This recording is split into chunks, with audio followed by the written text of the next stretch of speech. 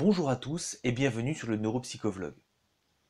Depuis environ un siècle, et en partie en raison de l'expansion de la psychanalyse, la neurologie et la psychiatrie sont deux disciplines médicales qui ont été considérées comme étant strictement séparées. Or, depuis quelques années, les recherches en neurosciences mettent en évidence à quel point ces deux domaines sont en fait fortement interconnectés on trouve de plus en plus de substrats neurologiques aux pathologies psychiatriques et de manifestations psychiatriques dans le cadre de pathologies neurologiques. Ah, j'ai eu un petit espoir quant à parler de psychanalyse, mais en fait tu vas toujours pas nous parler de Hanao. Non, non, toujours pas. Aujourd'hui, on va parler de délire neurologique et plus précisément de délire de la reconnaissance. C'est un peu bizarre quand même. Oui, assez. Et on va commencer par le premier, à savoir le délire du jumeau maléfique. S'il te plaît, dis-moi que c'est pas son vrai nom.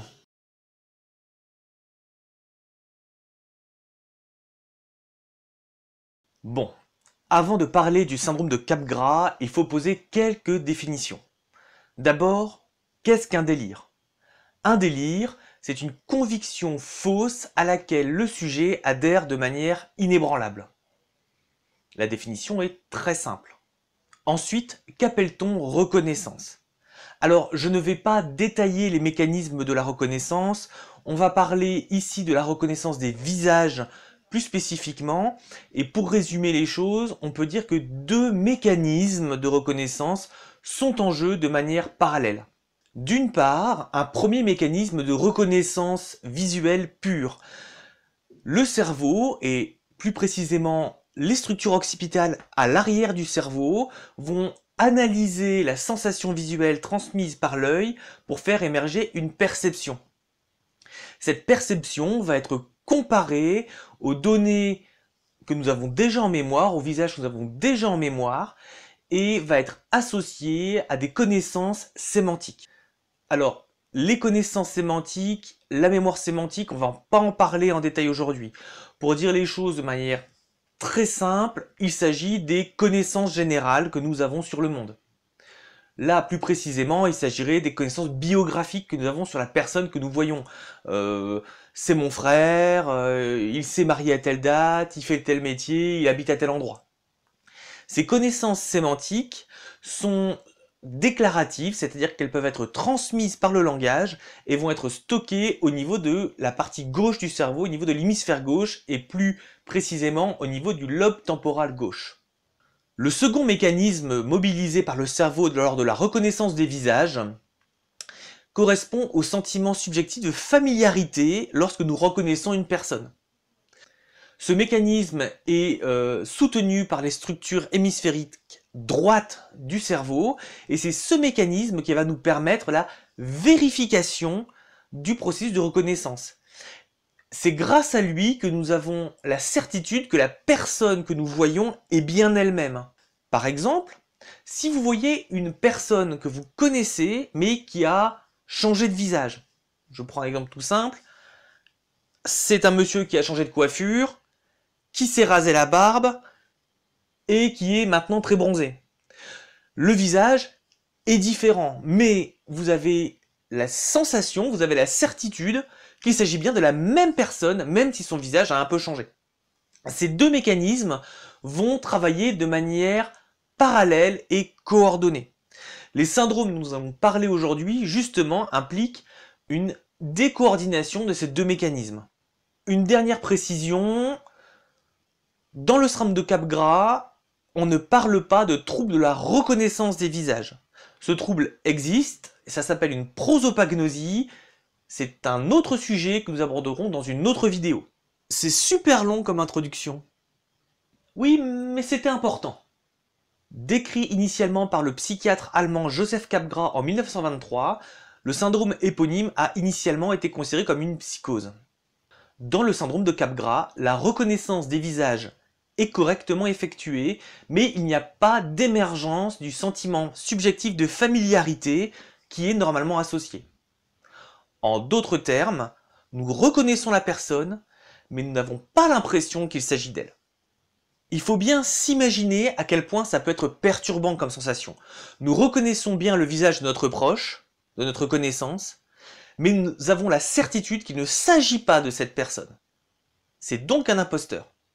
Dans cette situation, n'importe qui se poserait des questions. En tout cas, moi je m'en poserai. Moi pas.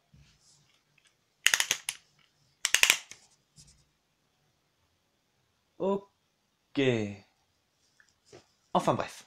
Une interprétation neuropsychologique du syndrome de Capgras a été proposée en 1990 par Ellis et Jung. Petite parenthèse, Jung avait déjà proposé un modèle d'identification des visages en 1986, le modèle de Bruce et Jung. Tout ça est très cohérent. Fin de la parenthèse. L'interprétation proposée en 1990 par Ellis et Jung serait que les mécanismes sous-tendus par l'hémisphère gauche du cerveau, les mécanismes de reconnaissance déclaratifs, sont préservés, mais qu'il existe un dysfonctionnement du système hémisphérique droit. Les études de cas cliniques vont plutôt dans le sens de cette interprétation. En effet, on décrit des manifestations de type syndrome de Capgras dans les maladies neurodégénératives, comme la maladie d'Alzheimer ou la maladie à corps de Lévy, qui auront leur propre vidéo. Il existe d'autres descriptions du syndrome de Capgras dans les traumatismes crâniens ou dans les accidents vasculaires cérébraux. En particulier, ce syndrome a été décrit dans des atteintes temporopariétales de l'hémisphère droit associées à une aphasie, un trouble du langage, et à un syndrome de Cotard. Alors, là encore, on va pas parler du syndrome de Cotard aujourd'hui pour deux raisons. Un, ce serait beaucoup trop long, et deux, si je vous explique ce que c'est, c'est tellement impressionnant que vous n'allez jamais écouter la suite de la vidéo. Et alors, tu t'en fous Il t'écoute déjà plus. Regarde, il y en a même un qui est en train de taper syndrome de Cotard sur Google. Vous inquiétez pas, ils vont très vite redevenir attentifs quand je vais leur parler du deuxième syndrome. Il s'agit du syndrome de l'espion du KGB. Waouh Le nom est pourri, et pourtant ça a l'air super intéressant.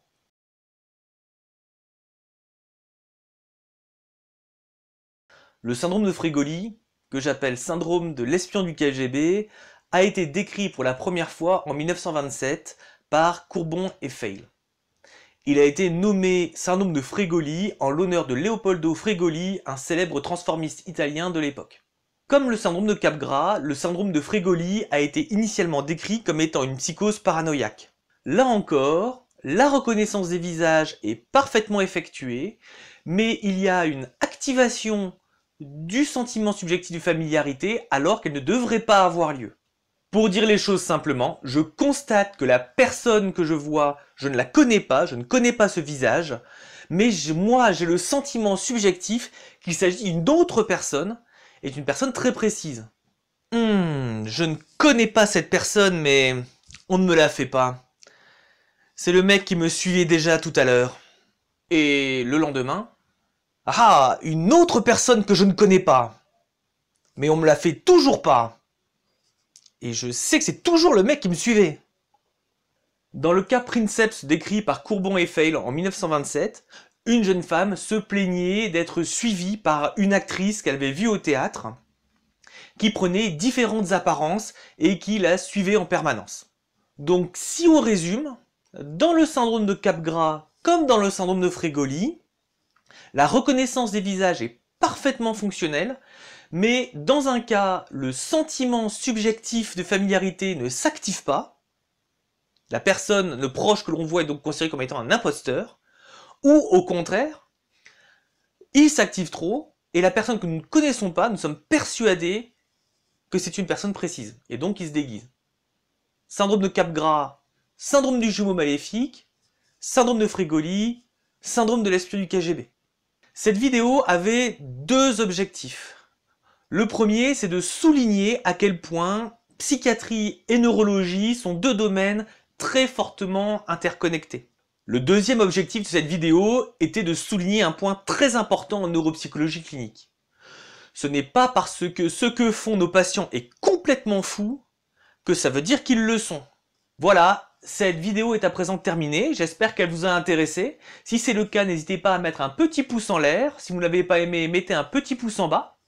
N'hésitez pas à partager la vidéo sur les réseaux sociaux. et à mettre des commentaires. Je voudrais remercier toutes les personnes qui ont partagé ou qui ont commenté les premières vidéos. J'ai été très touché des retours que j'ai eus. Euh, je lis tous les commentaires, je traiterai les sujets que vous m'avez demandé. Pas tout de suite parce que certains sont très techniques, mais euh, je les ferai, c'est promis. J'introduirai ces thématiques petit à petit. A bientôt pour une prochaine vidéo.